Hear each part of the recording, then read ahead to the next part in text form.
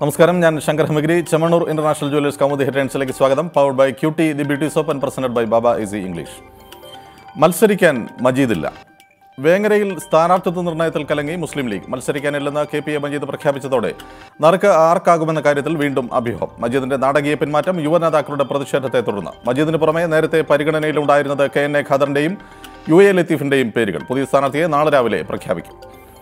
അതേസമയം സ്ഥാനാർത്ഥി നിർണയത്തിൽ മേൽക്കയുമായി ഇടതുമുന്നണി. P P Basheer C P M സ്ഥാനാർത്ഥി. പ്രഖ്യാപനം തലസ്ഥാനത്ത് ചേർന്ന സംസ്ഥാന സെക്രട്ടേറിയറ്റ് യോഗത്തിൽ.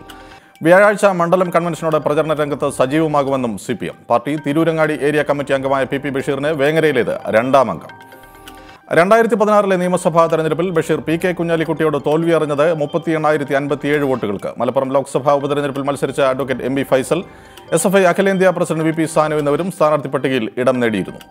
വേങ്ങരയിലെ ഉപതെരഞ്ഞെടുപ്പ് ഫലം ഇടത് സർക്കാരിന്റെ വിലയിരുത്തലാകില്ലെന്ന് പാർട്ടി സംസ്ഥാന സെക്രട്ടറി കോടിയേരി ബാലകൃഷ്ണൻ.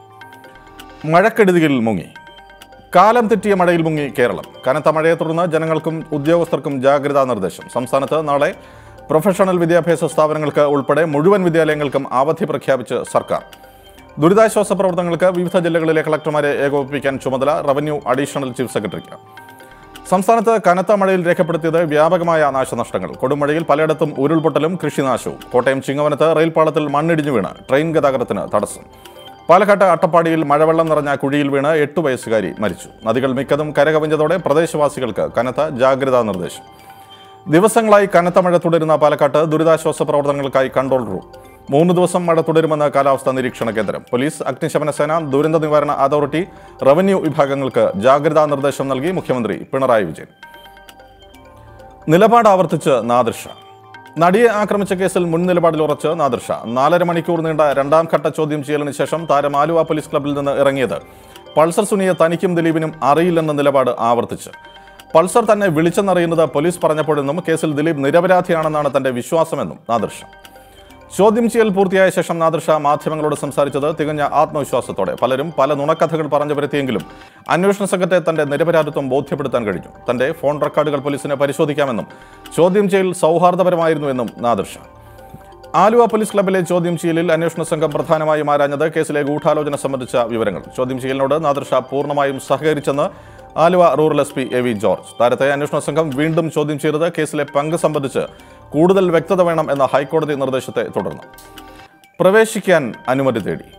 ശ്രീപത്മനാഭസ്വാമി ക്ഷേത്രത്തിൽ ദർശനം നടത്തുവാൻ അനുവദിക്കണമെന്നാവശ്യപ്പെട്ട് ക്ഷേത്രം അധികൃതർക്ക് അപേക്ഷ നൽകി ഗന്ധർവ ഗായകൻ കെ ജെ യേശുദാസ്. എക്സിക്യൂട്ടീവ് ഓഫീസർക്ക് നൽകിയ കത്തിൽ വിജയദശമി ദിവസമായ ഈ മാസം മുപ്പതിന് ദർശനം നടത്താൻ അനുവദിക്കണമെന്ന് ആവശ്യം. അന്തിമ തീരുമാനം നാളെ ചേരുന്ന എക്സിക്യൂട്ടീവ് സമിതിയിൽ നിന്ന് ക്ഷേത്രം ഭരണസമിതി.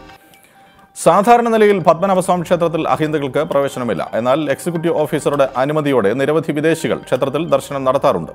ഈ സാഹചര്യത്തിൽ യേശുദാസിനും ക്ഷേത്രത്തിൽ പ്രവേശിക്കാൻ അനുമതി നൽകുമെന്ന് സൂചന. സിന്ധുവിന്റെ മധുര പ്രതികാരം. Korea Open Super Series badminton കിരീടം പി വി സിന്ധുവിന്. മിന്നും വിജയം സ്വന്തമാക്കിയത് ലോക ചാമ്പ്യൻ ജപ്പാന്റെ നൊസോമി ഒക്കോഹാരയെ തോൽപ്പിച്ച്. സ്കോർ ഇരുപത്തിരണ്ട് ഇരുപത് പതിനൊന്ന് ഇരുപത്തിയൊന്ന് ഇരുപത്തിയൊന്ന് പതിനെട്ട്. സിന്ധുവിന്റെ മൂന്നാം സൂപ്പർ സീരീസ് കിരീടമാണ് ഇത്. ഇതോടെ കൊറിയൻ ഓപ്പൺ നേടുന്ന ആദ്യ താരമെന്ന റെക്കോർഡും പി വി സിന്ധുവിന് സ്വന്തം. Chemmanur international jewellers comedy headlines സമാപിക്കുന്നു. Powered by cutie the beauty and presented by Baba easy English. പുതിയ ഹെഡ്ലൈൻസുമായി ഒരു മണിക്കൂറിന് ശേഷം ആര്യ സുരേന്ദ്രൻ ചേരും. നമസ്കാരം.